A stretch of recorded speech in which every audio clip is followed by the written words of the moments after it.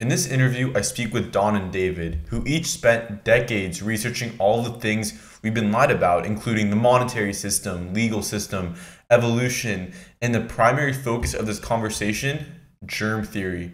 Viruses do not cause disease.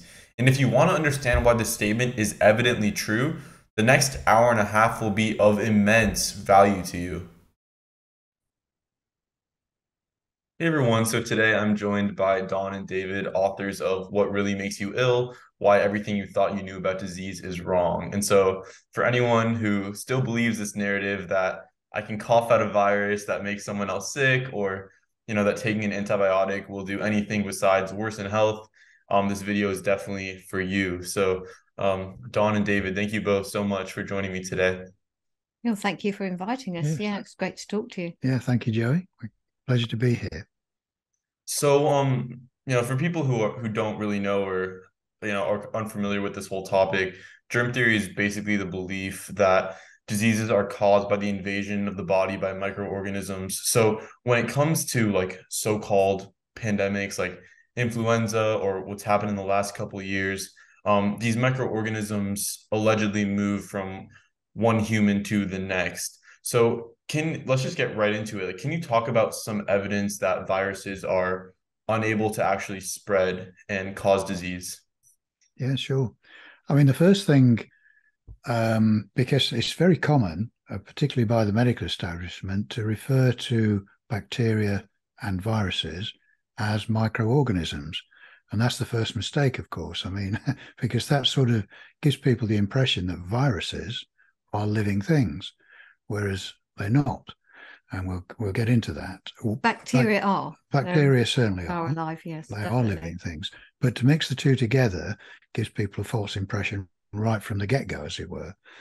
So what our research over 10 years was was to start right back with the germ theory to find out just what these are these and uh, if there's any actually any scientific evidence to prove that they do cause diseases and the short answer is no, they don't, which is obviously very surprising to people, and why the subtitle of our book is Why Everything You Thought You Knew About Disease is Wrong. Because, uh, well, going back 15 years, that's where we were. We thought germs made you ill, vaccinations were good, and all of that sort of thing.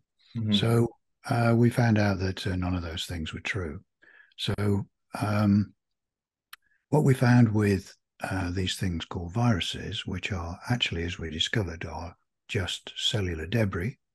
So that when uh, cells or tissue breaks down in the body, which it does every day, um, that's what they actually see when they look at these particles under an electron microscope, which had just come up as specks and things like that. And going right back about 100 years, uh, they only had optical microscopes, so they could only see bacteria. And it wasn't until the 1930s, when they had the invention of the electron microscope, that they could see smaller things. But the process that's gone through to be able to put something under an electron microscope is quite detrimental to whatever it is you've sampled so it's certainly always dead, whatever it is, because it's bombarded by high energy electrical fields for a start. But it's also any samples are treated with chemicals, they're sort of heated and colored and dyed, all sorts of things happen to them. So really the samples that they put under an electron microscope bear no resemblance to what it was you took out of a human body. So that's where the problems start. And further research showed us that the whole field of virology, um, which is to examine uh, viruses, um, their methodology of taking a sample and then examining it in a petri dish uh, proved to be totally unscientific. Uh, I mean, I can go through basically what they do very short, uh, very quickly, if you'd like me to do that. Sure. Yeah. So if let's say uh, they take a sample from a, a, supposedly sick person, a blood sample or a tissue sample, um, and then put it in a petri dish in a laboratory. Um, now, they're only at this stage supposing, and it's important to realize that, they're only supposing that there is a virus in that sample. They don't know, they're supposing. But then what they do is they add antibiotics, um, serum, a blood serum uh, from a baby calf, uh, monkey kidney cells, and various other chemicals. And then they call that an isolation. So mm. this again is where it deceives the public because as anyone can see, that's not isolating anything. That's making a cocktail. You know, we understand as normal human beings that when you isolate something, you separate it from everything else. But not so in virology. They make up this concoction of all these chemicals and things that I've just mentioned. And then they leave it in the petri dish for about up to five days. And when they come back, of course, uh, they see that all the cells are dead in the uh, calf blood and the monkey kidney cells. Mm. Everything is dead. And so they assume that it was a virus that was in the dish that has killed everything. Again, just an assumption. So many people, doctors, including ourselves, have complained that that's not scientific. And why are you, Mr. Virologist, not doing a control experiment? Which they've never done ever in the last 70 years that they've been carrying out those sorts of experiments. So another virologist that we know uh, that you may have heard of, a Dr. Stefan Lanka, a German uh, virologist, well, he was trained as a virologist. Uh, he'd also bitterly complained that this what they were doing is totally unscientific and doesn't prove anything. So he said, "Well, I'll do the control experiment." Obviously, he's qualified uh, as a virologist. Mm-hmm. So what he did was then take a second petri dish. So he so he'd now got two petri dishes. The first one, he did exactly what they did. Took a sample from a sick person, mixed all those different things, antibiotics and all the rest of it, in one dish. In the second dish, he put all the same concoction, except nothing that could be construed as viral material. Okay. Then left them, then left them for the same number of days, up to five days. When he came back, all the cells were dead in both dishes. So that proved that all the cells will die no matter what. I mean, and they die because for two reasons. One is they've been poisoned by the chemicals and antibiotics that's been put into the dish. And two is that they've been starved to death because they've just been left without food for, because cells need food uh, they've been left without food for five days. So, quite a standard, simple experiment, and it shows that all what virologists do is unscientific and has no basis in science at all and does not prove anything. Um, hence, they've never been able to prove that a so-called particle, which they call it cause, calling a virus, is actually a pathogen and because one is it's not alive, it's just cellular debris, mm-hmm. and two is there's nothing that has been able to show that it can infect someone and pass pass on a disease, enter someone's body, enter a cell, and multiply. And they've never been able to prove that ever um, over the last well the last uh, hundred years or one of the great experiments they did was in the uh, 1918 flu epidemic. Right, right. Where they tried so des- yeah. they tried desperately to infect healthy people by taking it was quite disgusting really taking nasal extracts from sick people taking blood samples from sick people having sick people cough directly into the faces of healthy people and they, they did this dozens and dozens of times and never once were they able to infect a healthy person. So, I mean, the the medical establishment have disproved their idea of infection, stroke, contagion themselves. I mean, there's been lot, it's been done many times. So, I mean, I'm just giving you a short a short description, really, but you can see from the experiments they've done themselves, you can see from the unscientific nature of the virology experiments with their petri dishes that there's no science basis for this claim that uh, these particles, cellular debris, uh, are pathogens, i.e., that they cause harm. Hmm. So that was the start of it, really, and and we found that we found the same for bacteria, of course, even though they are living things. But again, there is no scientific papers that prove that any bacteria causes any disease. So this set us on the path of trying to find out, well, what does make you ill? Hence the first part of the title of the book, What Really Makes You Ill?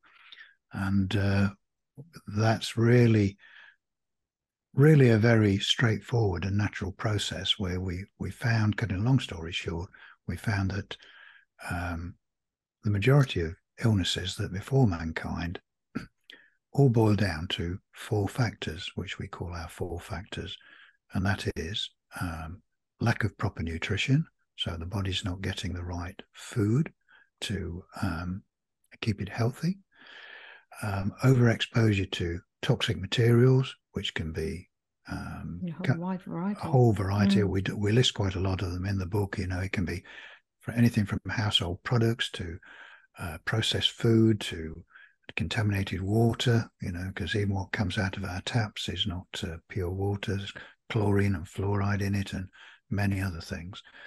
Um, even what you wash your clothes in, uh, yeah. personal body care, lots of different sources, chemtrails, lots of different sources of toxins.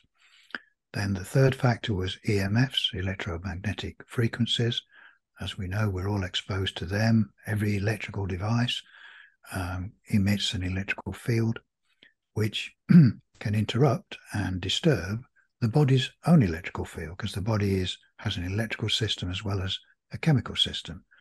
Um, hence, how the heart works and the brain. It's all nerve impulses are, are electrical in nature. Um, so that that can be disrupted by strong outside electrical fields. And then, last but not least, is uh, prolonged stress. Um, we, found that stress can be detrimental not only physiologically but also psychologically. So those four factors, uh, one or more of them, we always found were responsible for all of the different illnesses that uh, we mention in the book, which is most of the ones that people will, will be most familiar with. Okay, so that that's a, a short description, a brief overview, a brief, yeah. a brief overview of why the germ theory is a big problem. You know, because it's never been proven to be the cause of disease. Right. Right, absolutely. Um, and this is exactly what I've uncovered. I don't know if you, you are familiar with Aajonus Vonderplanitz, but um, you, you are Dawn. He he talked yeah. about a lot a lot about uh, germ theory being wrong, and I got a lot of ideas from him.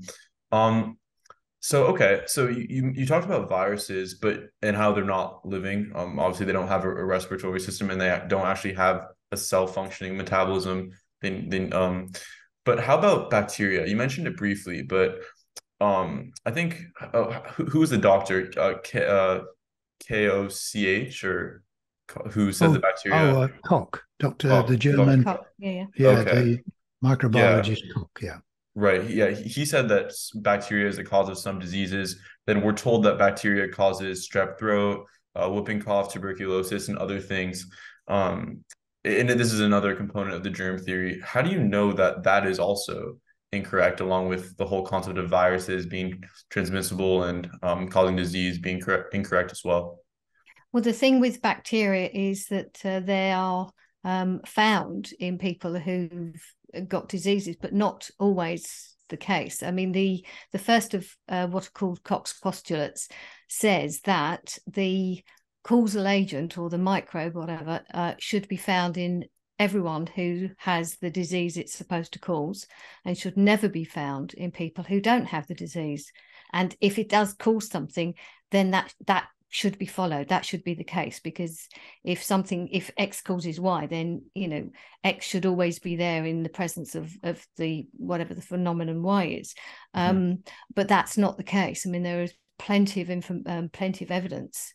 Um you know when you really start looking into papers and um the original writings of various people. It's you know the things get changed over the years but when you find the original writings you discover that um, there are plenty of people who have said that certain of these certain bacteria that's supposed to be there aren't found on people who have the disease it's supposed to cause. So i think some of the examples we cite are, are diphtheria and tuberculosis. So if the um, bacterium that is supposed to cause tuberculosis is not there in a person with tuberculosis or with a diagnosis of tuberculosis, it cannot be the cause.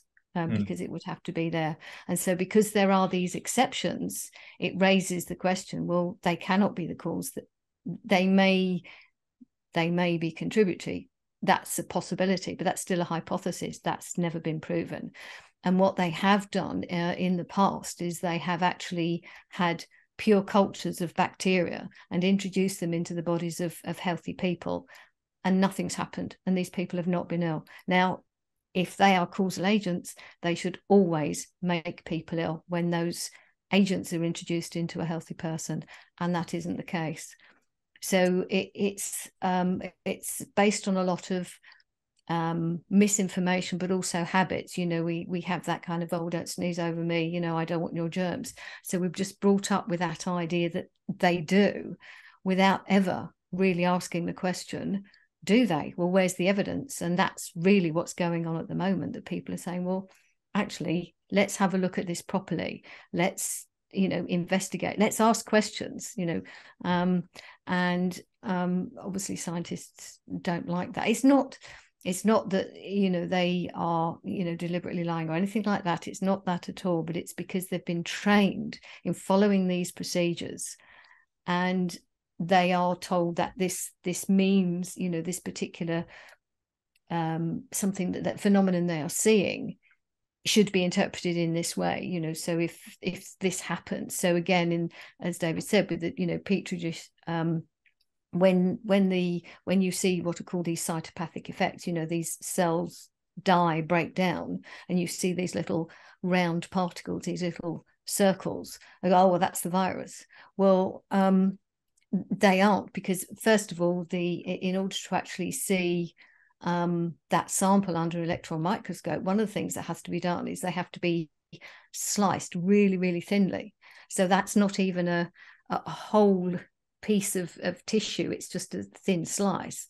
And so it's just it's just a circle. I mean, there's just no proof that they're anything. So to to say, you know, they don't they don't have um, any kind of um, features or, or um, any kind of attributes you know whether they've got respiratory you know it, that's never been seen because these part whole particles have never been sort of seen isolated completely so they can be really analyzed and characterized um, but as i say bacteria are but the but again plenty of uh, experiments were done as i say for pure cultures of bacteria being put into healthy people with absolutely nothing happening to those healthy people at all and also, what we have to realize is that bacteria are a natural part of mm. the human body.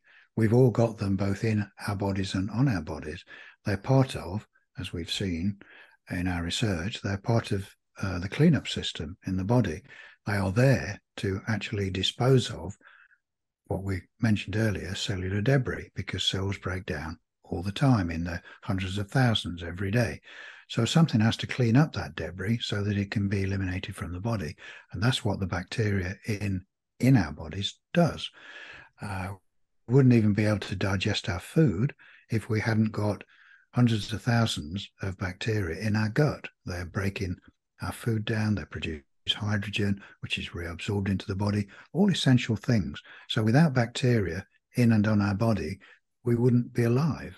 And we see it out in the forest, don't we? Bacteria breaking down dead trees and things and, and returning it back to the earth. So they're a natural part of life. They're not life's enemy, and they're certainly not humans' enemy. You know. Yeah, I to kill them is really the wrong way to go. Right.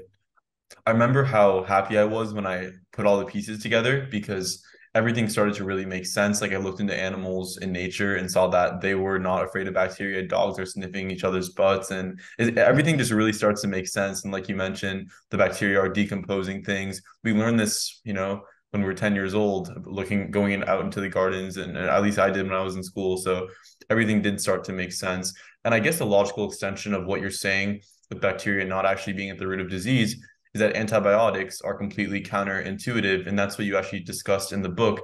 So what do antibiotics actually do that's that's uh, so harmful for us? Okay, well, as the name implies, of course, antibiotics means anti-life, so they are designed to kill, and they're designed to kill bacteria. And as we've just said, bacteria are essential. So you don't really, first off, don't want to be taking something that's going to kill them because that inhibits the body from repairing itself and keeping itself healthy. So that's the first thing.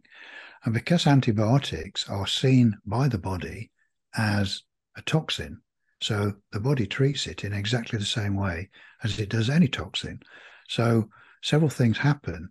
One is trying to get rid of the antibiotic because it's a toxin.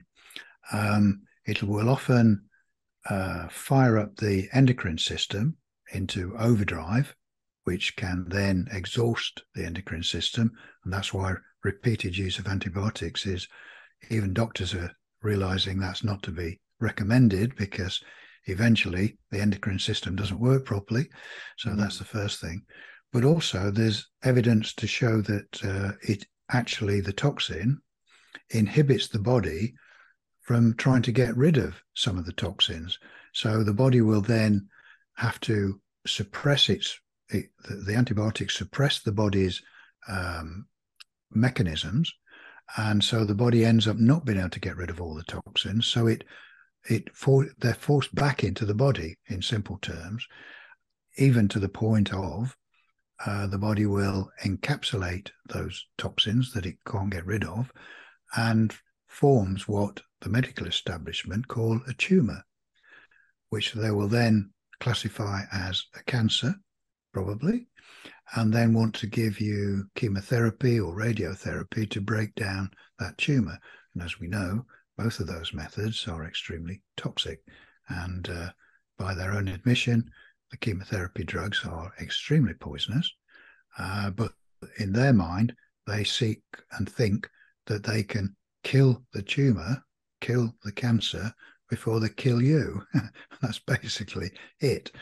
But uh, for the vast majority of cases, and I know this from personal experience with family and friends, they just end up killing the patient. It yeah. might take them two years, but they end up killing the patient. But then, of course, they just say that they've died of cancer but uh, no, they've died of the treatment, and that's that's short of it.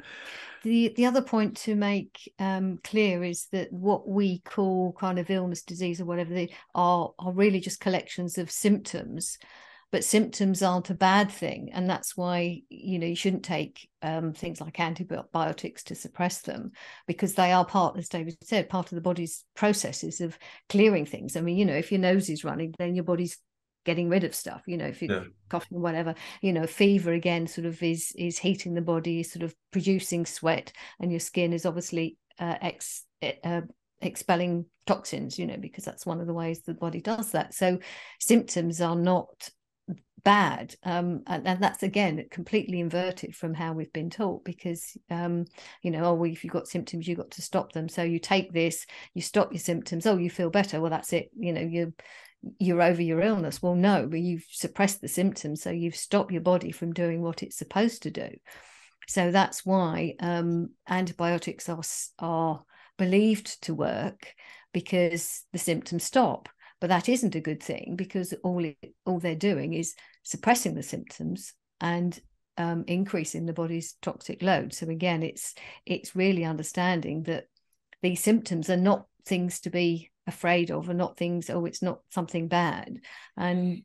it's really to learn how to look after yourself with these symptoms is to to recognize that what's going on in your body to to rest more than anything else you know drink drink water probably but to to just give your body the time to do what it needs to do which is to clear clear these symptoms. And you know so of course the medical establishment doesn't want to know that because they like to um, keep promoting all their all their pharmaceuticals for us to uh, keep taking and become perpetual customers. So, um, but it, it's it, again, you know, something else that's inverted, so that we we still think that we need to go to somebody else for our health, when in truth we can actually take responsibility for our own health. So it's, but it does require kind of understanding what the symptoms are and realizing that you know none of these things that are called germs cause anything mm-hmm. so I mean, one, it's, one it's, the, a, it's a lot it's a it's a big thing it's quite a lot to take in but one of the things we had to do in our research was to have a look at how doctors are trained mm. because we thought you know things obviously became it became apparent that everything we'd been taught throughout our lives up to that point was totally wrong about the medical establishment. So we thought, well, surely all doctors can't know the truth and they're just lying to their patients. We thought, well, that can't be true. So we studied how doctors were trained and we talked to doctors how they were trained, and it soon became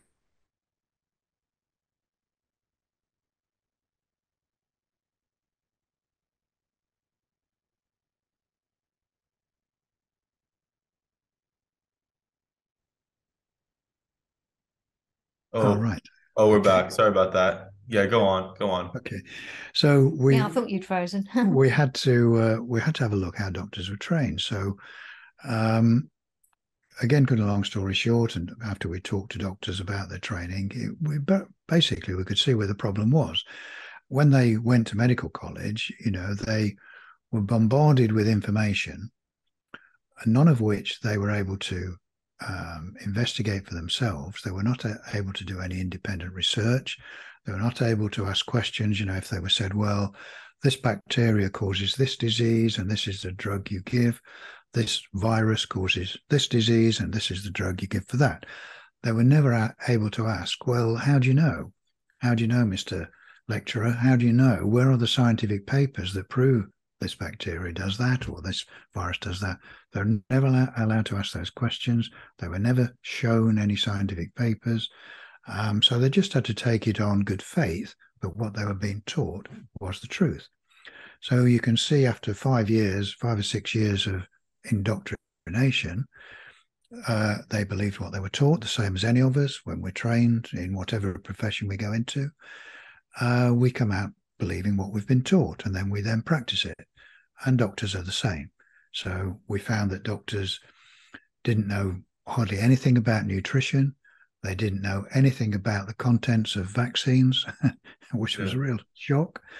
Um, and as I say, they just take, took at face value that this or that germ was responsible for causing this or that disease. It was as simple as that, just learning by rote, yeah. um, which is a big shock. But you can see why doctors come out being little more than drug pro- providers, really, because that's what they've been taught to do. And of course, the pharmaceutical companies love that uh, because that's how they sell their products and make billions of dollars worldwide. Um, and, and no one gets well. In fact, people just get worse. I mean, in America, when we studied the system over there, um, I mean, it's the most medicated country in the world. More money is spent on pharmaceutical products over there, and yet uh, it's got one of the poorest rates of health. You know, there are more sick people in America than anywhere else, and yet they're taking more medication than anyone else. So yeah. it speaks for itself. And there's a thing called iatrogenesis, which is basically translates as uh, death by modern medicine, where yeah. um, uh, you know, we talk about it in the book where people are being prescribed drugs by their doctor, they're taking them as prescribed, and it's killing them. And there's at least over 150,000 people in America alone that die every year from iatrogenesis. And anywhere in the world where so called Western medicine is practiced, you're going to get similar outcomes. Obviously, depending on the country's population, it will vary, but it's a very, very high number. So worldwide, that's going to translate into millions of people dying every year just by taking the drugs that their doctors prescribe for them. In fact, we we have a a retired GP in the UK called Dr. Vernon Coleman. He's quite famous on the internet, and uh, he's got went public and said the person most likely to kill you is your doctor. Yeah. Now that's that's quite an admission coming from a doctor. Yeah. so that should concentrate people's minds a little, I think. But not intentional. Again, you know, make it clear. You know, they it's I, I mean, it, we might talk more about the education system, well, the schooling system, should we say?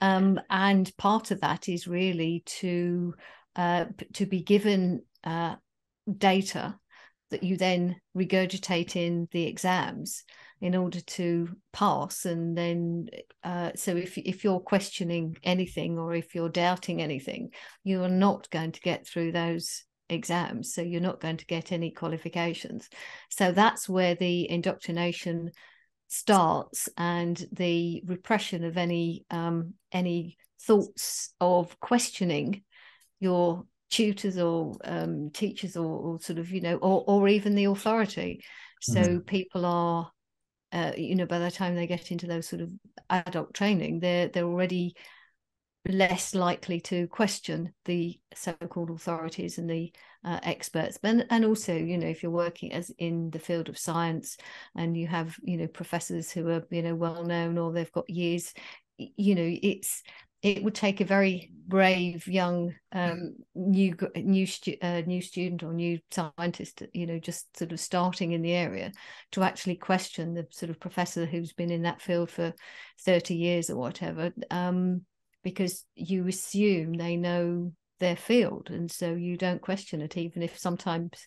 And I've had this, I've heard this from scientists that I know that they they say I'm not quite sure about that, but they just don't dare question these professors you know because i mean there's there's obvious there's obvious respect you know for these people in their fields but the you just don't question them.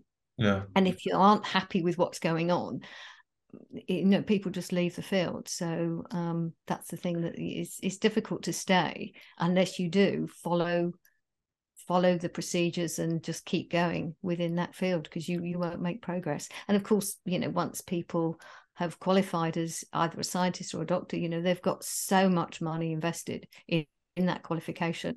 Right. And usually huge student debts to pay back. And we, we also found out when we were talking to doctors and researching how they were trained that um, most of the training colleges were either partly or wholly owned by the pharmaceutical companies. Okay. And the curriculums that the doctors had to sit were set by the pharmaceutical companies.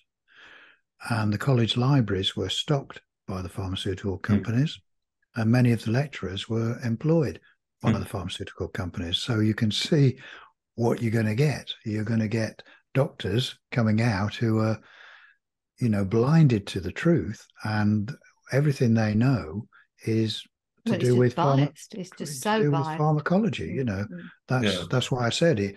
Some people may think I'm being uncharitable when I say the doctors really just become professional drug pushers. You know, and that's uh, that's yeah. really what it is because that's what they're taught to do. Mm-hmm. Uh, I was really going through this predicament that you're discussing right here because I had an idea in my head that I could go ahead and you know change the system and be a pioneer, and then I realized pretty quickly that that I would have to go through a lot of years of just just sitting there quietly as I knew what I was being told was wrong, and um, I decided that, and I you know ultimately I decided it probably wouldn't be worth my time to do that, but um, it it would it was a tough choice. So you know, um, I want to really quickly ask another question about the the bacteria thing. Um, so from my understanding, what bacteria actually do is remove like the weakened and the, the dead cells. So it mm-hmm. makes sense why the antibiotics are so harmful because these bacteria are aiding in the detoxification process. Yeah. So when you take an antibiotic, you're going to kill those bacteria that are helping you get sick, but at the same time, that sickness is necessary to expel toxins. So I guess my question is is it possible that um, antibiotics do yield some some short-term benefits potentially by making you so sick that you have to remove that antibiotic which may be less stressful than removing the actual toxins that, that those bacteria are removing themselves? Because i do hear some examples may, maybe you know it's just coincidence but people take an antibiotic and they get better. So do you have any thoughts on that? Yeah sure. I mean i think dawn touched on it a little earlier is when you take many of these drugs, and antibiotics are one of them, they suppress symptoms. Okay. So people think, oh, I, I feel better. My headache's gone, my fever's gone, or whatever it is.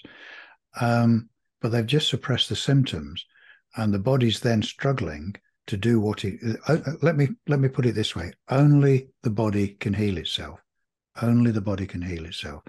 There is no drug, and I've we've challenged doctors and pharmacologists to prove any drug that they produce actually cures anything, and that's yeah. quite a bold statement. There is no pharma, yes. there's no pharmacy uh, product that cures anything. They just suppress symptoms. Okay, they do some great painkillers, but again, it's just suppressing symptoms. You know, you can take morphine, it'll, you know, you can be seriously injured, take morphine, and yes, it will suppress the pain, but it doesn't cure anything. And all of uh, pharmacological drugs are the same. They just suppress symptoms, basically, while the body struggles to heal itself. And if uh, you're lucky, you your body will heal itself. That it's not been poisoned too much, unlike when they give you chemotherapy drugs, because they keep giving you them, basically till you die, yeah. and then then tell you people you've died of cancer. But um, so no, there is no good reason. And again, the short answer is you can't poison the body back to health. So, bearing in mind that antibiotics are a poison, they're a toxin, the body recognizes it as that. So, it's, it's not actually going to help the body. Only the body can heal itself. So, the, it gives people the false impression that the antibiotics have actually made them better. But all it's done is suppress the symptoms while the body gets on and heals the problem. Okay. But by stopping the symptoms, it's actually uh, hindering the body from continuing the processes, and so that uh, and that's why it's um, it's really hard when people say, "Yeah, but you know, I stopped having what, whatever it was that was going on, all these different symptoms," and and think that that means that they are better. But that's that's where the misunderstanding lies. That it is um, that however if they feel better that is only a temporary thing because what's happened is the body will then have to deal with the antibiotic now the reason for this uh, well first of all uh, say the reason for the cells dying i mean cells die all the time and they are processed and and eliminated from the body normally uh, a healthy body will be doing that all the time so cells dying does not mean you've got a disease. You know it's it's just a, a, normal process because cells are renewing all the time. Now the healthier the body the healthier the new cells will be. So as i say cells dying is um, is not a a bad process. But when um, when there's sort of an excess toxicity in the body, then they will die at a, a higher rate than normal, and right. that's why you need the sort of you need the bacteria to come in and help break that down. Uh, you know because like you say that's what bacteria and fungi do out in the natural world you know they break down dead and dying material because if they didn't we'd be miles high in dead and dying mat you know dead matter that they haven't broken down and recycled back into the environment so why you know the reason that people think that that's what happens in out there in nature but in our bodies they turn into some horrific monster. Um, mm. but it's it's the idea that you you've got to take something to to kill something. Then if it's something that kills you know designed to kill bacteria then it it is inherently toxic. So you just you know you, you have to wonder why um, people would think taking a toxin is a good idea. Yeah so i mean with with um, what are called infections um, one of the things um, that are you know various people uh, who actually practice that you know have um, patients and, and help them restore them to health or restore themselves to health is is through fasting is, is actually to to just not eat. And then the body's not putting all its energy into processing food. And then it can just put its energy into healing. And quite often um, they find that people who you know go on a short fast or whatever their bodies can heal naturally. I mean if you know if you cut your finger you just as long as you keep it clean and don't um you know put anything toxic on it, it the it, it, will heal itself you know the body will heal itself. Yeah. Yeah. And i i think animals in nature fast when they're sick. So exactly. um, pretty clear that if we're sick and we're not hungry then there's no point to force down food. Um okay. So the, the, there's a lot of logical extensions that come as a result of bacteria and, and virus not being cause not being the cause of disease. For example, the immune system. And this is something that I thought of instantly as soon as I was exposed to the idea that um, Louis, Louis Pasteur was wrong, and it's you know it's not germs that cause disease. So you know th- it, this was hard for me to accept because we're told so often like we need to wash our hands do this to boost your immune system vitamin c boosts your immune system so you can fight off stuff. And like it's crazy that, that all that's wrong. But so i guess the question is what is the immune system and does it even exist at all Okay. Well, first Good of all, question, just yeah. one point is is that you know the idea that the body is just that this battleground of things fighting each other is is completely false as well. You know, because it's you know it's it's harm. You know the well, if body was fighting itself all the time, then you know we'd always be ill, and we're not. Yeah. So it, it's it's the wrong concept, but it's made it, it's put out there to make us feel that we have to defer our responsibility to to these um, you know to the medical people so or the medical system anyway. Um, but but the body is you know it works in harmony it's not in it's not a battleground.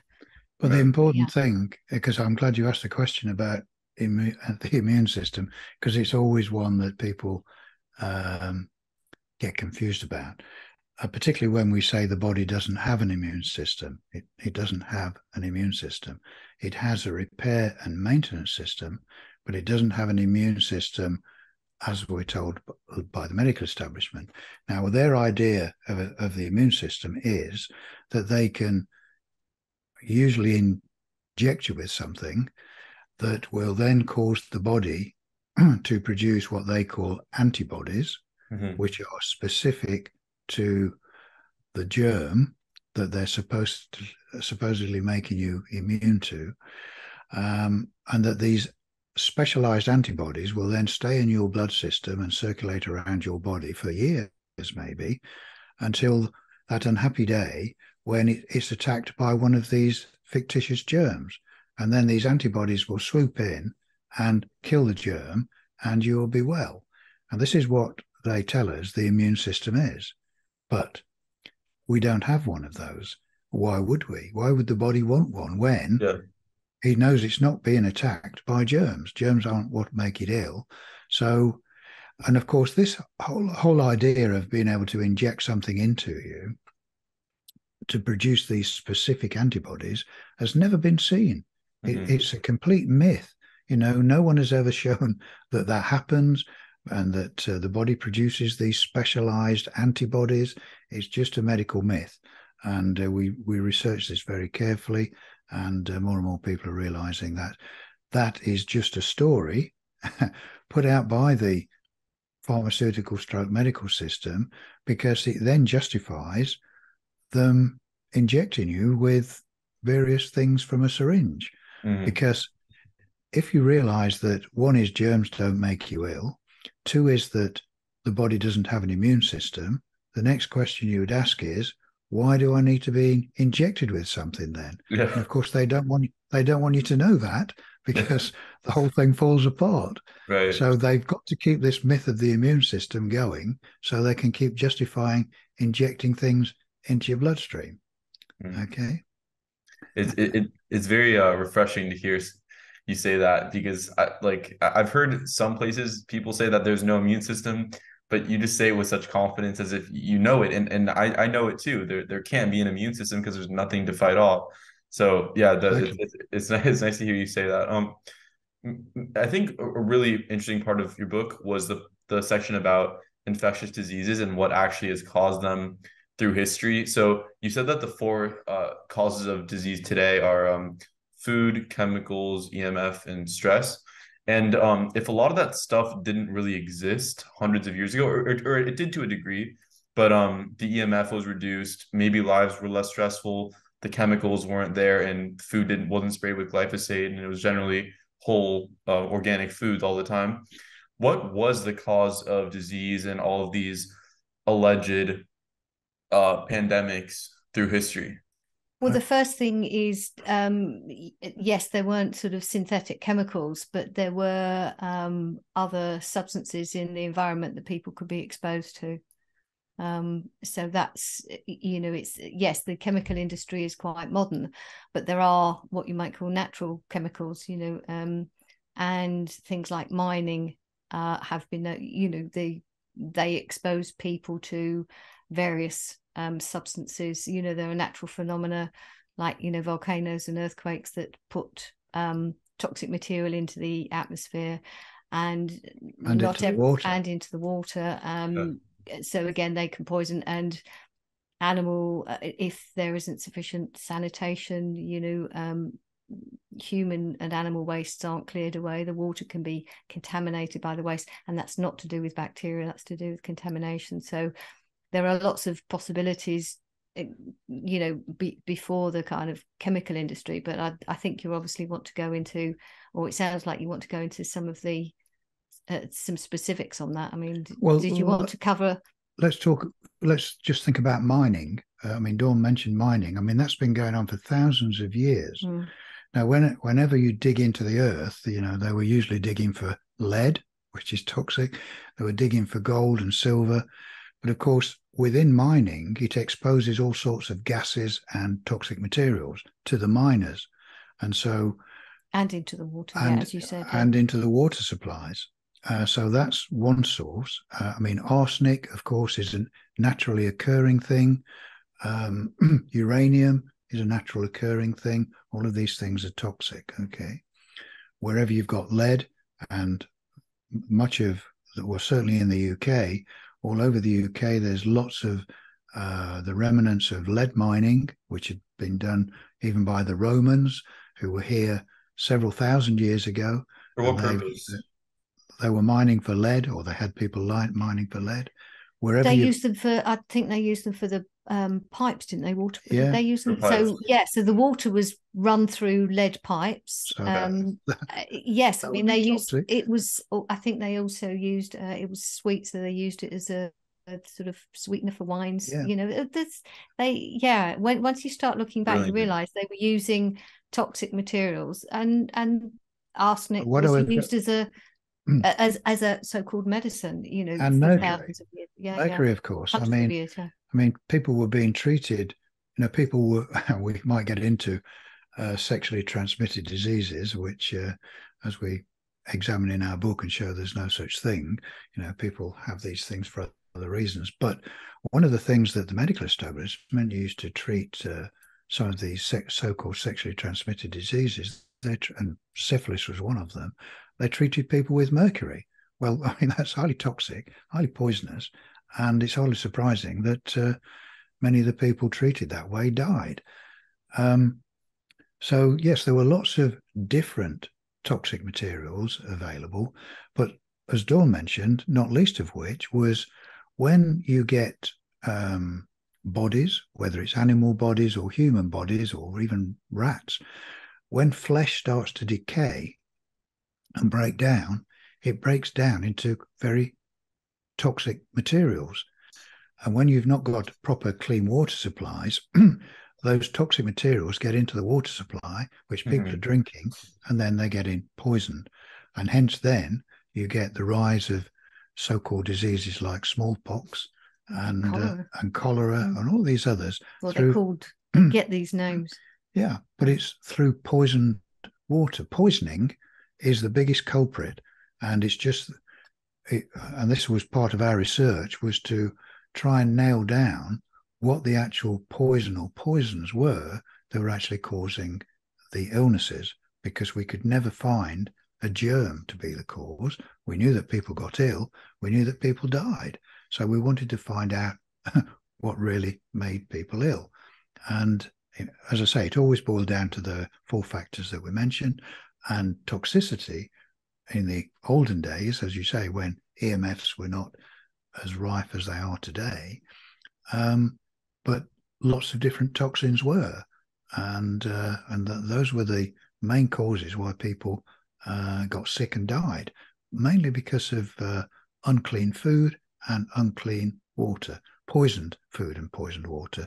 You know, not to mistake and think it's to do with bacteria because it wasn't. It's to do with proper toxins. And uh, that's what killed people. And of course, many people, going back far enough in time, they didn't have what we would think of as a nutritious diet. They may have food, but it might just be um, very, very basic, you know, very basic bread, bread, water, and or bread and beer, and uh, maybe some meat. Um, they they didn't have very good diets. Well, that's there's not enough nutrition in what they were eating, so their bodies were not able to maintain themselves properly, and so you'd get all sorts of skin type diseases like syphilis, like leprosy, all of these mm. things, which the root cause is uh, lack of proper nutrition, okay, yeah. and toxicity. And, and it seems like these really feed into each other. Like um, our, our environment today is is so toxic, and um, if we're malnourished, we just don't have the proper detoxing mechanisms because it's pretty taxing on the minerals on our mineral stores to get rid of stuff like mercury and aluminum in the brain. So if we're depleting those rapidly and we're not replenishing it with proper food, then it's just a recipe for disaster and stress. Throwing stress and EMF, like you mentioned yeah. in there, is just gonna make it pretty bad. Um, so yeah, like I think I think it would be interesting to get into uh, other examples of ways that we're told we con- we contract diseases, like from animals and from other human beings and via sex. So can you talk a little bit about that and, and why those narratives are wrong? Okay. Uh, well, w- which to start with? I mean, quite a favorite one um because um, it normally comes up, and that's with STDs, sexually transmitted diseases, and you know the uh, such as syph- syphilis or even herpes.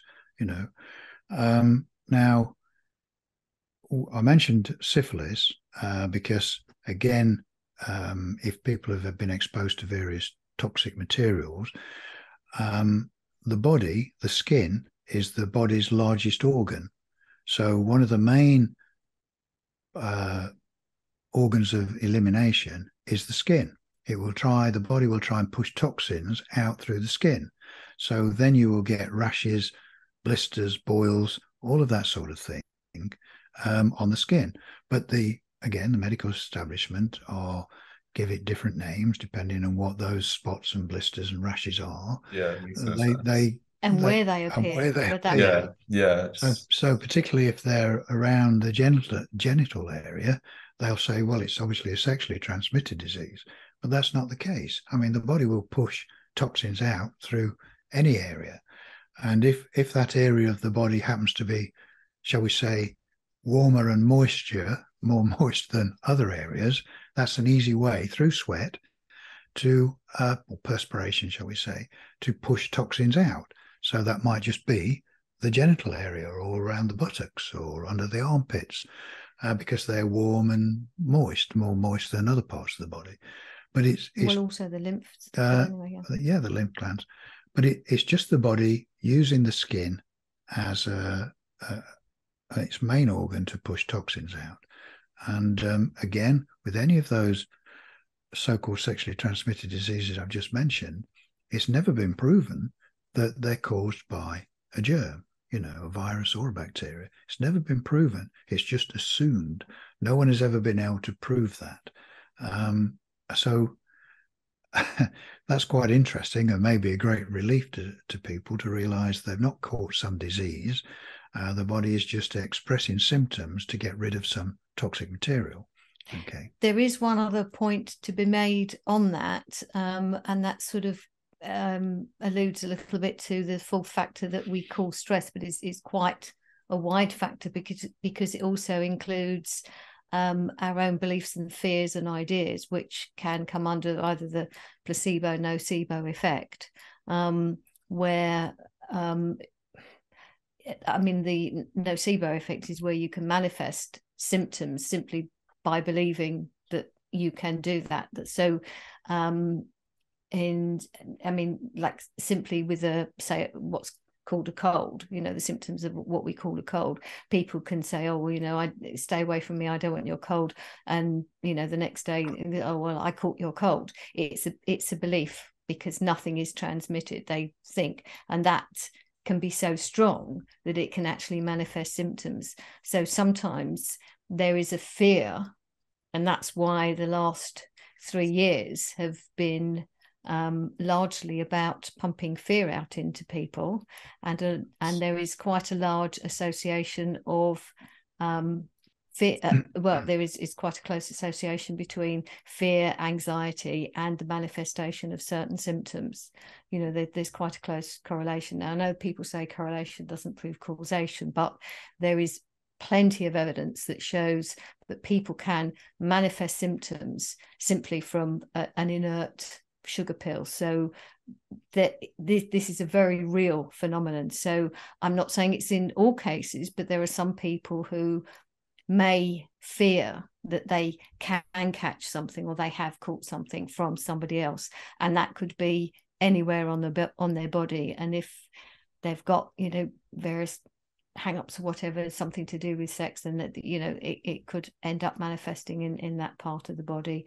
The other thing with um um, those sorts of areas that you know various products may be used that contain and certainly contain sort of fragrances which are pretty toxic chemicals and the body just may um, not like those chemicals and then decide to manifest symptoms uh, you know express the kind of rashes and lumps and bumps and blisters um, that then get given this label um, so again yeah. this is about labeling and even they say even though they it's it's given a label that's then said oh well you've got whatever herpes it's caused by the herpes virus. There is no such thing that has ever been seen that uh, the herpes virus is is not something that has ever been proven to exist. So it but the but the whole idea you know but calling it you know herpes virus just keeps that belief in the idea that what is called herpes is caused by a virus. So again this is this is this is continuing the belief so that people don't look at anything else and that's why it's, it's quite important. But again as i say what's been going on the last three years has has been quite a good example of um, how fear and being kept in a perpetual state of anxiety is is detrimental to people's health and and that's you know been one of the problems as well. So again it's it's all mixed in. And i've kind of gone off slightly to tangent but again it's still one of the factors that some people might need to have a think about when it comes I mean, to even, all of these symptoms. even the pharmaceutical companies i mean in their drug trials mm. they use the placebo effect you know. They they have if they're bringing out a new drug they have let's say two groups of people. One they're giving their new drug to the other group they're giving the placebo pill to which is as Donna said just a sugar pill has no pharmacological uh, properties at all. But of course neither group knows which pill they've been given. And there are many recorded instances say with a chemotherapy drug where the people who've actually only had the sugar pill but think they've had the chemotherapy drug have even manifested symptoms of hair loss now mm. because that's what wow. they believe they'd had. So yeah. belief is very powerful thing, and um, you know you, you, can look back into uh, all sorts of different societies, whether it's witchcraft or shamans. In some instances, they know the power of thought, they know the power of belief, and uh, it, it's a very powerful thing. And the modern pharmaceutical companies and doctors know this too. I mean, even within medical terms, they uh, they know the expression called dying of the diagnosis. You mm. know, a doctor knows that they can give a particular, if they're unwise, give a particular diagnosis to someone, and that will affect them very badly, even to the point of, you know, if they think they've got three months to live, that's what they'll do. They'll die in three months. You know, it's dying of the diagnosis. And uh, so doctors or anyone for that matter should be very careful. If they if they hold a position of authority i.e doctors you know they've got the white coat on and stethoscope and if someone believes in them that what they say is definitely true so whatever that doctor tells them will have the effect of the placebo pill or nocebo pill as it should yeah. be called because it will have this detrimental effect because this man in the white coat has said so. Uh, very very powerful and very dangerous. Yeah, no doubt that the mind is powerful. Um, I I heard of, of a study where two different groups were given the same milkshake, but one was told that it's super healthy and one was told that it's really bad for them. And the one um, who received the information that it's healthy, even though it wasn't, had a, a lower blood sugar spike, um, like the, different a different physiological response just from the mm-hmm. brain, which is cool. And there's also a lot of interesting stuff with resonance where you know women's menstrual cycles will sync and there's there's a lot of things that go on w- with the mind that people tend to neglect. I- am curious if you think that maybe uh, bioresonance has anything to do with families getting sick at the same time um, because that does seem to happen. And i have heard that as uh, an, uh, an opposed argument to um, germ theory being incorrect well, there are. Um, it, it's one of many possibilities, but again, with a family being ill at the same time, you mm. have to recognize that they are in the same environment. They're probably eating the same food. They're exposed to the same EMFs or toxins or whatever. So uh, again, this kind of environmental, um, uh, you know,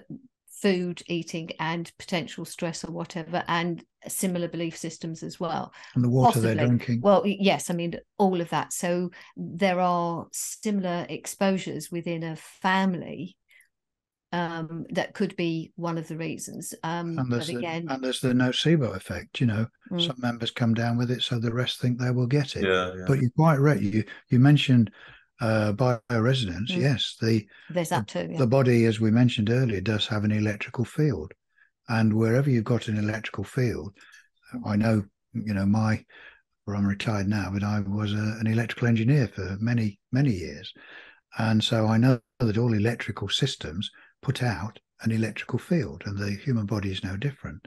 And so when you're in close proximity to someone, your biofields, your electrical fields, can intermingle and you and it, it can give sensations of various sorts you know even if it's just making you feel that uh, you have an affinity with a person or a certain person may even repel you, you yeah. but you don't know why and this can be because your biofields um, don't sync mm. okay so information can be passed through these biofields and uh, i'm not saying that they make you sick but you can pick up information that can make you think you should be sick. And then the mind makes you sick because you feel you should be. Well it's it's not again sort of being sick but again it's uh, it's um coming out in sympathy symptoms, yeah. in in the, the symptoms. So you sort of made like coming out in sympathy. But i mean um you know there's nothing um contagious about sort of you know yawning or whatever but sometimes when somebody yawns it makes somebody else yawn but there's nothing transmitted you know there yeah. not a yawning germ you know so it's it's that there's there is something else going on because again um we're sort of moving to other areas but i mean we are all kind of you know interconnected in in various ways and so we're sort of picking up on each other's um um consciousness shall we say yeah. we won't yeah. go into that one um, and sort of go somewhere else. But uh, uh, yes, I mean there are all sorts of reasons, and it's it won't ever be. And this is the problem. Some people want well, if it's not this one thing, what is the other one thing? And it's not just one thing. It will always be various combinations, and that's why we're all different. Well, we are all different, and that's why the expression of symptoms, the duration, severity will be different. So even within a family, not everyone is going to be express the same symptoms for the same length of time in the same way. There may be some may have sort of a few mild symptoms and some may have slightly and some more. Not, and some none, none at all exactly yeah. so again you know people are all different and so it's you can't well if if they're experiencing different symptoms it can't be the same thing um, but again it, it, just depends on their own bodies what their bodies um, are needing to express in terms of symptoms. We often say to people, we may not be able to tell you exactly what it mm, is that's made you feel ill, but we can tell you what it's not. and we can tell you quite definitely it's not a germ. Uh, but to tell you what it is in your particular circumstance, we'd have to know a lot more about your life, what you're eating, drinking, sleeping habits, work work environment. We'd have to know all of those things to be able to give you some reasonable idea but that's why we boiled it down to the four factors so that people can then have a look at their own life environment and say, what of these four factors could be making me feel ill? Yes. And uh, and then they can sort that out for themselves, whether it's what they're eating, drinking, what they're exposed to, chemicals, EMF, stress. They can they can look into their life and decide what are those symptoms uh, could be affecting them. Yeah, the, the the point of view that you've brought to the table is way more empowering than germ theory, which is just kind of uh, promotes fear. And I mean, there's there's a clear monetary incentive for um, germ theory being right because they can make their medicines and and their antibiotics and stuff like that. But there, there's it's pretty clear to me that they also want to promote fear, fear of nature, fear of other human beings via STDs, fear of animals. You're gonna get anthrax or rabies. Um, but but I think the significant one is fear of other human beings. You know, wearing masks, being scared to mm-hmm. associate with people, being scared. Yeah. So, w- what do you think is um the motive with that with that uh fear agenda? The the money one is clear, but why why do they these elites benefit from making us scared? Well, people are when people are afraid. It's well known when people are afraid, they're much more easily manipulated, and uh, we we know that in the UK, that our government, um, when this whole since 2020 and this whole last three years, they they employed about half a dozen psychologists uh, to help them produce statements to be released to the public that would induce fear. You know, they did this deliberately because yeah. they knew that if they could make the public afraid enough, they would be much more likely to comply with all of these measures that they then wanted to bring in of, you know, locking people up in their homes and not visiting your loved ones, wearing masks, and all of these other things. People were much more likely to c- comply if they were afraid. And so they ramped up the fear through the media daily. It was non-stop. Um, I mean, it subsided a lot now, but you know, it was a very, very active plan um, to control people, basically. Uh, when people are afraid, they're much more easy to control. So again, as well as fear being detrimental physically to the body, uh, uh um, you know, it it has this other side when the persons or persons that are uh, making you afraid can then control you better. So there is another agenda, as I'm sure we know, um, for controlling the world population and through and fear using fear is one of them. Used to be fear of world war three wasn't it? You know they back in the day it'd be everyone's made afraid that there's going to be another nuclear war or a nuclear war should i say another war and it would be a nuclear war and everyone was made to be afraid of that. They were afraid you know or then they went through everyone had to be afraid of terrorists blowing up their house right. or blowing up their business or something. And then, of course, then it was disease. You know, everyone had got to be afraid of disease. So this is a constant thing that's put out by governments to keep people afraid of one thing or another so that they can control them better. It's it's a fear-based system. Okay. Yeah, that, definitely a, a fear-based system. And um I think the whole germ theory is wrong idea corroborated what I'd previously learned from historical events. Like the U.S. had tried to pretend Cuba had attacked us, you know, more fear tactics, and I think 9/11 that was another just in, like instilling fear in us. So we're scared of you know um, terrorists in, in Afghanistan and stuff like that, and then they can spy on us. So there seems to be the, the, the fear really allows them to do a, a lot of stuff. Certainly, um, maybe uh we can pivot a little bit and talk about the education system. I, we touched on it briefly, but um, and like I, I explained my situation a little bit. But you both have pretty uh, in-depth academic backgrounds, um, but discovered these truths about disease and the world using your own investigation. So I'm curious to hear how you feel about formal education and I guess the pros and cons of getting one.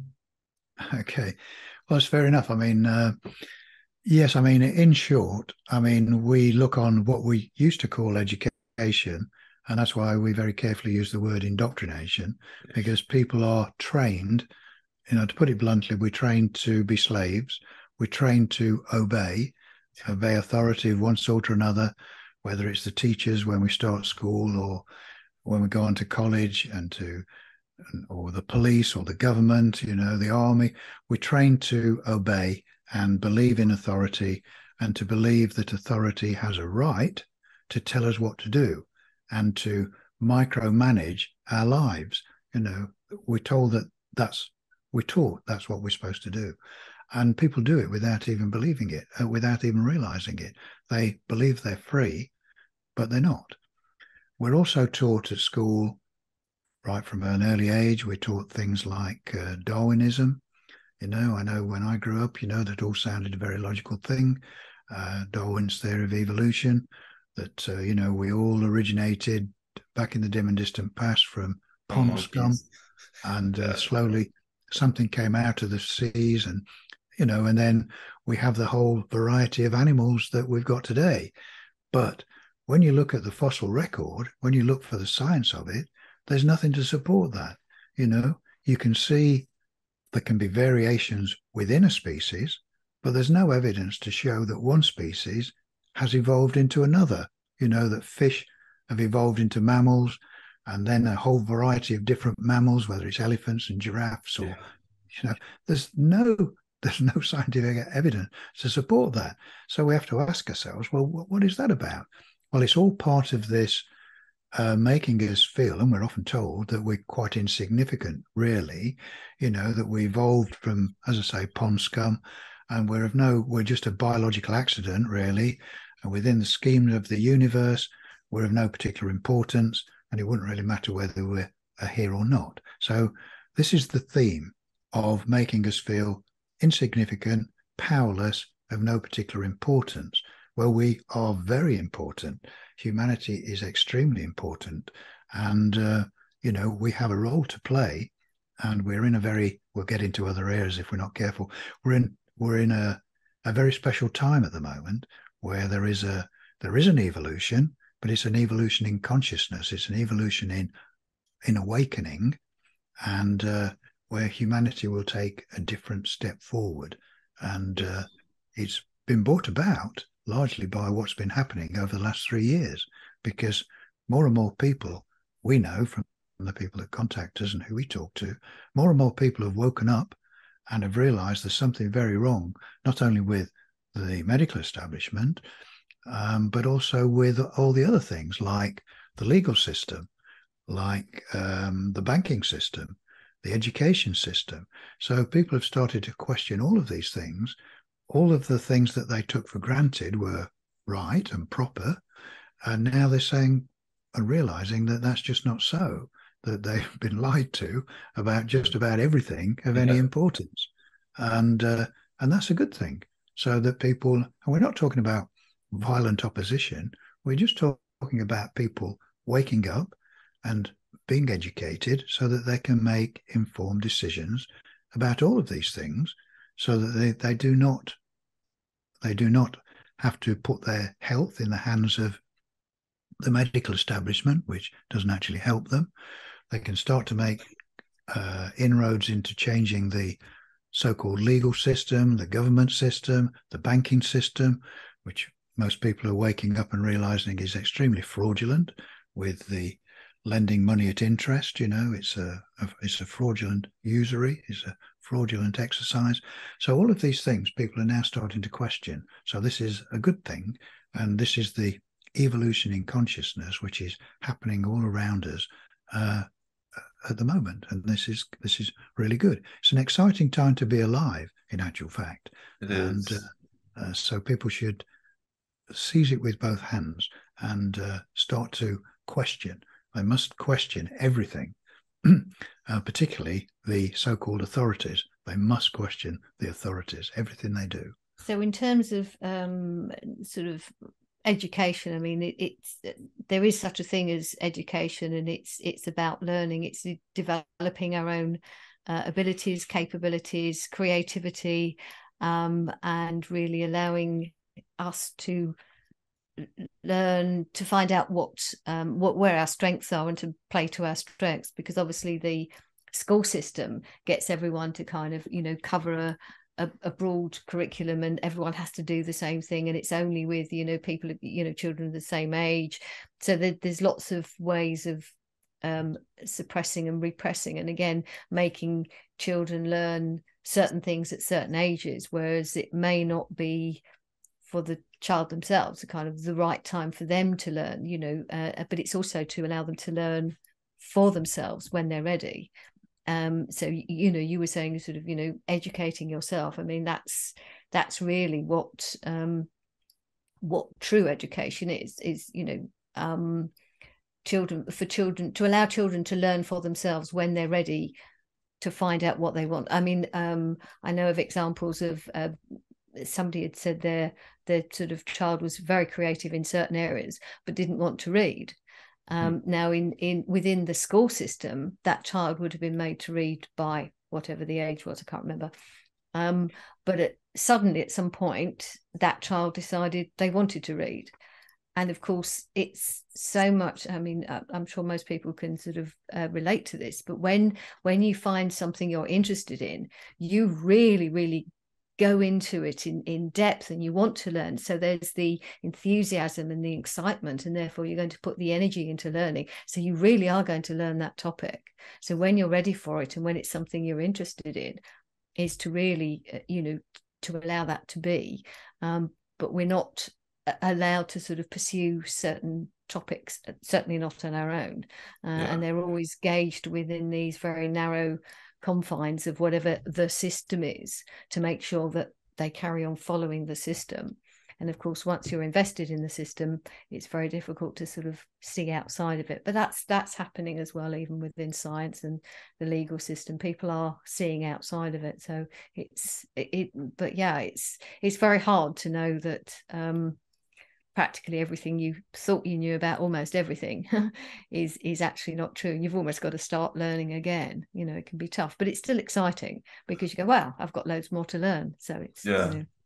i mean although both dawn and i had formal educations both at school and college of course later on uh, to learn our professions but i can honestly say well i'm sure dawn would agree we've we've learned more about the world how it truly works and all of these other things since we left formal education mm. you know because we carried on studying. You can see some of the books in our library behind us.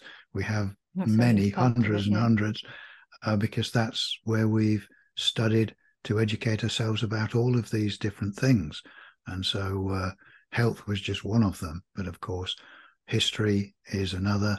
You know we're we're not told the truth about our history and uh, civilization, as we mentioned, evolution, we, we're not told the truth about anything of any importance. And for very good reason. It's to keep us confined and under control. Because once we know, once we know who we truly are, and I'm thinking not only physically, but also spiritually as well, once we know what we truly are and just how powerful we are, then it's a very different world indeed, and our lives take on a very different form. So uh, that's that's the sort of education we should get, but don't when we're when we're in formal education. Okay. Yeah. Yeah, I actually I recall when I was learning about the evolution being wrong stuff, and I was really hoping I was like, oh, I I don't want to believe that that this is not true because it had uh it was the backbone of like my whole biology education and I mean, when I was learning all this stuff, a part of me was really dying for for it to all all the conspiracies to just not be true. And then one by one, they each start to make more and more sense, and everything gets put together. And every time I, I unlock something, you know, whether it's a war that was like conspired by the Rothschilds or it was, you know, buildings blown up by the government, it's like it just unlocks more and more things. So um it, there have been there have definitely been hard times in my in my journey to understand truths, but it's definitely rewarding. And like you said, with the legal system and the monetary system, definitely allows you to make informed decisions about how to secure a, a safe life for yourself and a happy one. So maybe maybe touching on the monetary system, um, what do you think is the is the is the solution? Well, on, mean, a personal level, yeah, the the basic thing we really need is to uh, for the people of the country of each country to have control of the banking system. Okay, because all the banks are owned by private individuals, and the and that's the whole banking system throughout the world. So they're allowed to get away with lending money at interest, okay, uh, which is a ridiculous system and is very restricting for people uh, because the, so the whole world gets run on debt. You know, people are imprisoned by debt. Um, so that wouldn't happen if the people actually own the banks and money could be lent without interest. Okay, and this can be done. Um, you know, if if we had honest governments, the governments should run the banks for the people. Um, so that's the first thing. I mean, yes, it's a big ask because obviously there's be a lot of opposition uh, because there's a lot of extremely rich people who own the banking systems who definitely do not want that to happen. But that's one of the things that has to happen. Um, I mean, one of the things, as we all know at the moment, they're trying to bring in, get rid of, get rid of cash and just have digital money. Now, that will be extremely detrimental. Be awful. Uh, because Dreadful. If you if there's no cash and the you can only buy things through a piece of plastic, you know, um, then they've got you total control because they can switch that card off anytime they like. If you're a naughty boy or girl and don't do what they want, The they can control. stuff. They oh yes, they yeah. can control where you spend your money. You know, what you spend it what on. you spend it on. They've got complete control just through that little bit of plastic if we allow them to get away with getting rid of cash. And that's why they want to do it. You know, they try to tell us it's all going to be so much more convenient. Well, of course it is, isn't it? When you go down the supermarket and use your bit of plastic to buy your groceries, but that's the thin end of the wedge. You know, when people get complacent and think, oh, it's oh so convenient, I don't have to carry a load of cash around with me.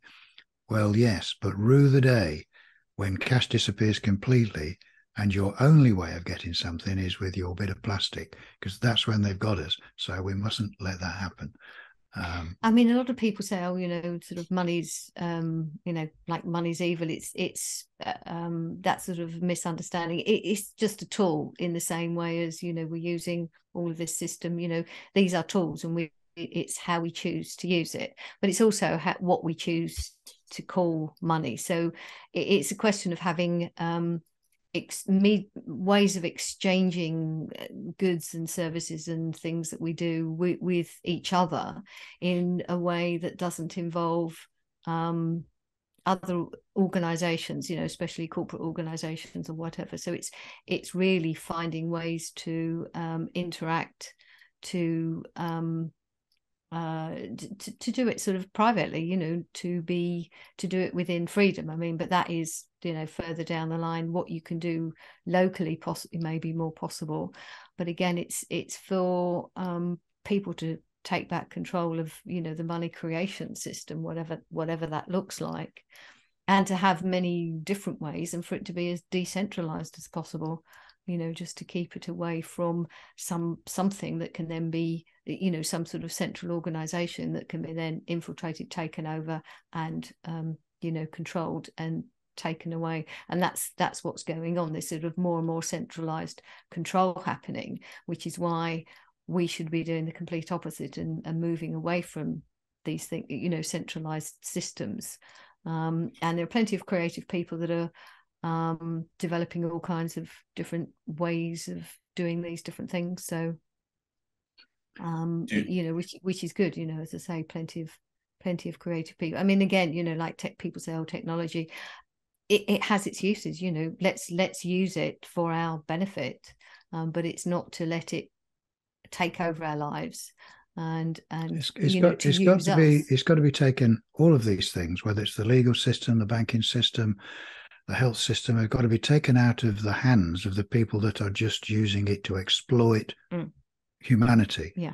and then they can be good things you know and i've, I've just said w- we know what to do about the medical system you know people can take back control into their own lives you know it's, health is very simple you know take care of those four factors that we talked about and we, we explain fully in our book and you can take control of your health and if we can take control back of the banking system so it's run for the people take back control of the legal system so that you know because the whole legal system is illegal uh, you know judges and barristers lawyers uh, you know.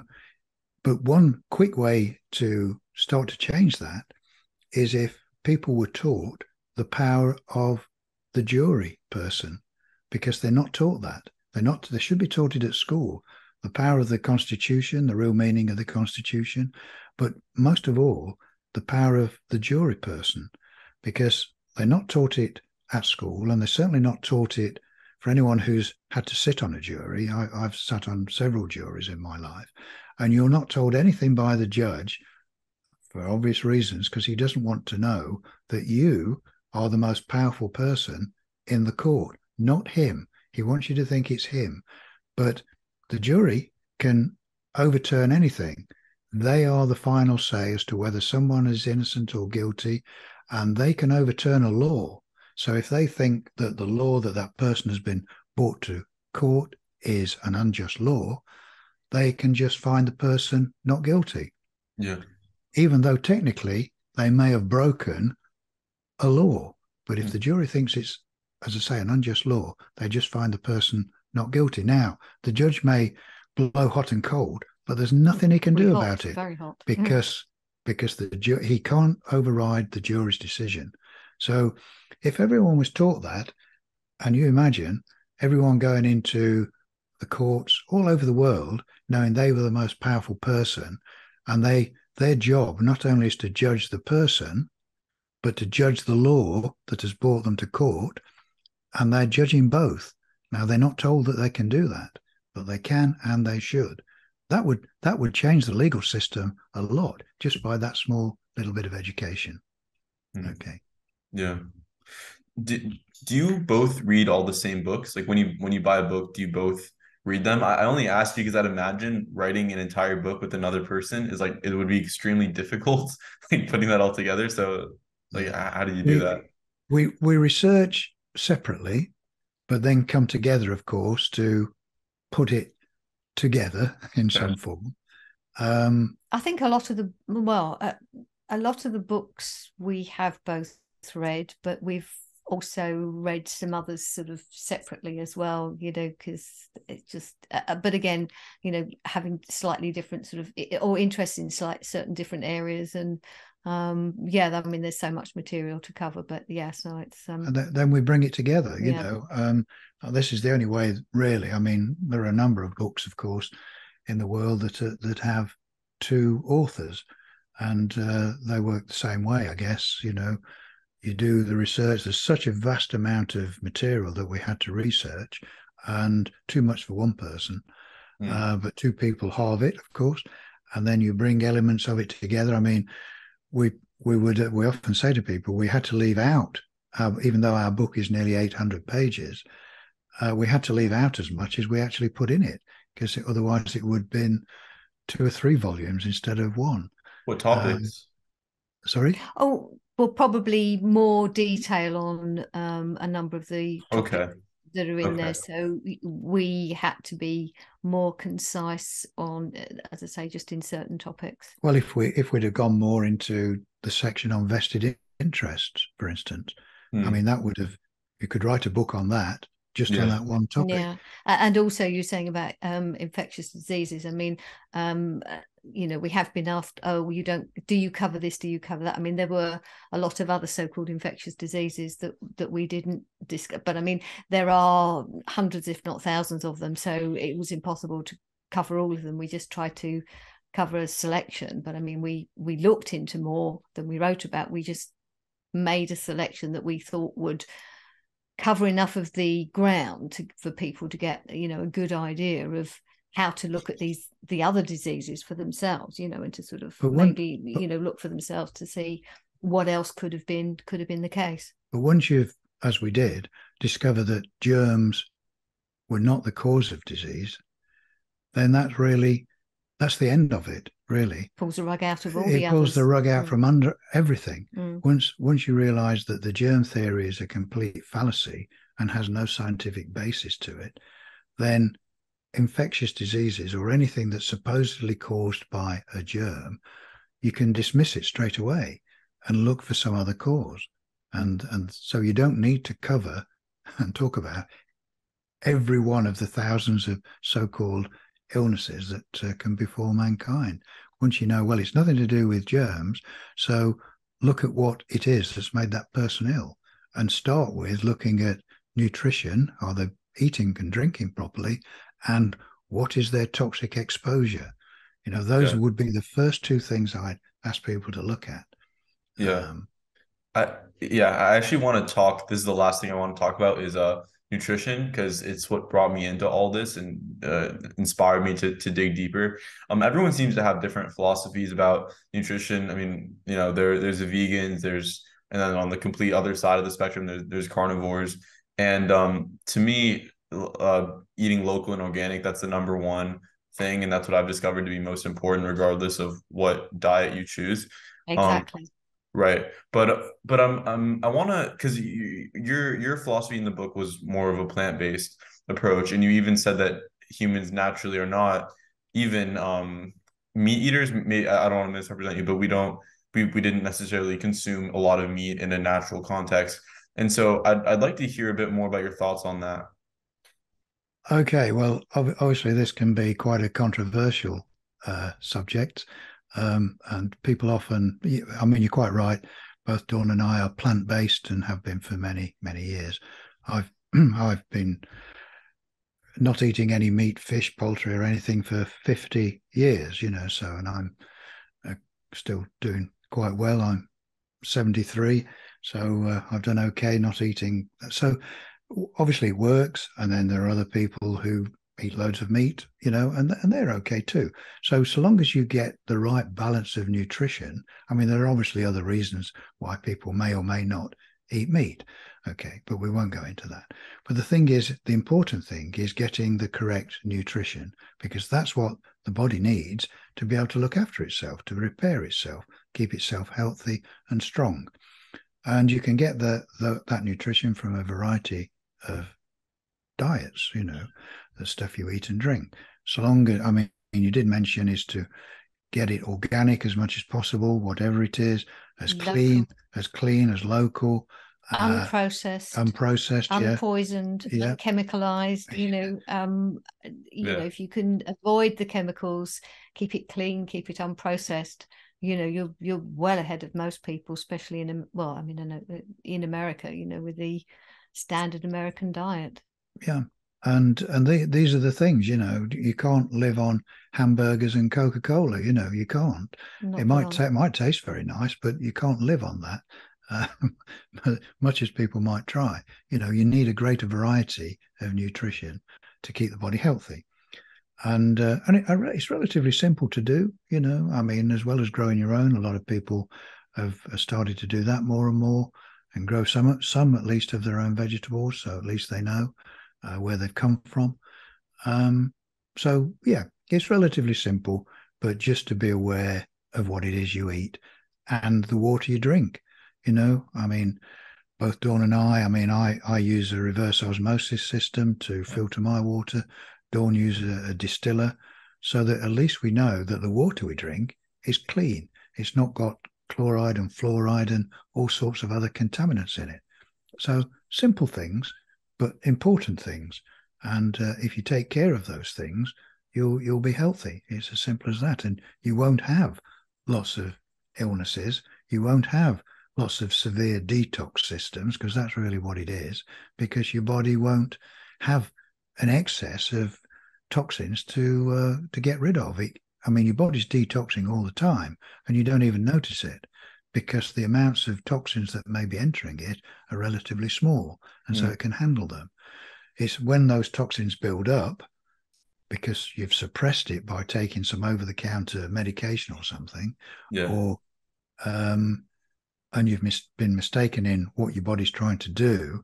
For instance, even the so called common cold, I mean, that's a sure sign if you have that of congestion and you've got them because the body's had to employ the mucous membranes to try and get rid of excess toxicity because it's not been able to get rid of it through the normal methods of uh, sweating or excrement or urination. it's not been able to get rid of it. So then it employs the mucous membranes to help it out. And then people say, oh, I've caught a cold or I've got the flu. But they're detox methods of excess toxicity. But then, of course, they very often make the mistake of taking something to suppress those symptoms, uh, which just makes the matter worse because the yeah. body can't get rid of the toxins. But going back to um, eating as well, there is there is also uh, sort of in, increased um, the, the, sort of pace of life, if you like. People just grab something, eat on the go, whatever, um, instead of sitting down and, and enjoying their food. And mm. um, it, it, there's a different approach to food, and it, it's um, regarded as you know just something you need. Yeah, you just have to kind of you know have something just for the energy so you, it doesn't matter what it is well it does matter what it is because you know your body responds better to um, fresh mm. you know cleaned organic food but at the same time there is still the the actual enjoyment of sitting with your food rather than you know always having something else going on you know um, and so people don't sit around together and in, and enjoy a meal together you know have that pleasure from the food. So that that's been lost as well. And that that again kind of goes into what we are saying uh, before about um you know your sort of beliefs and ideas. But it's because of your because you're taking the food into your body it's how you approach that food. And if you kind of are just oh well i just just need to put something in. You're you're not necessarily giving it the right energy as it were. Uh, you know so there's there is that aspect of really enjoying what you're eating putting that the, well, the right feeling into it the right emotion. you're taking energy on. Everything's energy isn't mm, it? mm. in its basic form everything is energy. And of course the food you eat you're is bringing energy. energy into your body. So to have good food and a respect for the food um, is important and to pay attention to it. It's it's all about energy exchange in a way. So that's all part of the process of eating. It's all part of the process of nutrition, to and to uh, give your body the right ingredients so it runs properly. We often joke about you know if you if you bought a really good car, something like a Ferrari, and then put really crap petrol and oil in it, and then wonder why it didn't run very well. Well, yeah. you know, well, the body's the same. It's a finely tuned. Oh, it's much better than It's not a machine, yeah. No, it's not. But, it, but it's a finely it's tuned. It's a fantastic thing. But if you don't treat it right and you load it up with rubbish, eventually it's not going to work properly. Mm-hmm. I mean, it's very simple, really, when you yeah. think about it. Yeah, yeah, it is simple. Um, when I started getting into n- nutrition, I kind of fell into the diet wars thing, where it's they're basically fighting over macronutrient ratios instead of the actual quality of the food. And then I, I think I pretty much transcended that and got into way more important stuff. Like I, I made the choice to uh, eat my food without the presence of any technology around or with another person, and I would eat outside ideally or eat while grounded to the earth so all those things like that you're mentioning, I mean, they're definitely so important and they're completely neglected by the diet wars that, that are com- being pushed. Like um, they're definitely pushing diets, and uh, that doesn't doesn't seem to be the right approach. So yeah, I'm, I'm it's another divide and conquer mechanism. So anything yeah. where it puts pits you against someone else, I I I would suggest kind of go okay. They want us to fight, so I'm not going to yeah. let's have a you know sensible let's have a discussion and, and we might agree to disagree that's fine but not to be not allow ourselves to be you know the divide and conquer because now is the time for not being divided because yeah. you know there are more of us than there are of them and um you know we have far more in common than we have differences really so uh you know that's that's you know the way to approach things and to to move things in the right direction as, as yeah, that's how i see it to all work with one another rather than against one yeah, another. Yeah, cooperation. It's a, it's a basic, simple principle because, as Dawn has said, it's also a basic, simple principle of divide and conquer, which has been used very effectively for thousands of years. Yeah. And they're using it now more and more. So we have to realize that and not allow ourselves to be yeah. divided and conquered. Mm, is to come together in a peaceful way no violence required, but to be, you know, not to comply with unjust things. you know, unjust laws, unjust regulations, you know, not to comply with them, just to, you know, come together and do what's right, you know, and yes. we all know what that is. So, uh, yeah, uh, very, very simple. Great. This has been amazing. Um, Dawn and David, I really appreciate you both for taking the time. I will put the link to your book in the description. It's it's it's probably the best book I've ever read. I mean, it's it's so comprehensive. Yeah, it's um yeah, it, it's excellent. And it for for the, the average person who hasn't been exposed to this stuff, like it, it, this is this is the book that that changes your life because it changes the way you view the world completely. It's it's it's a totally different um view of the world that you have after getting this understanding. And yeah, I can definitely attest to that. So thank you for the work that you've done and um it's been great talking to you. Thank, Thank you, you, very much. Thank you very Thank you. much.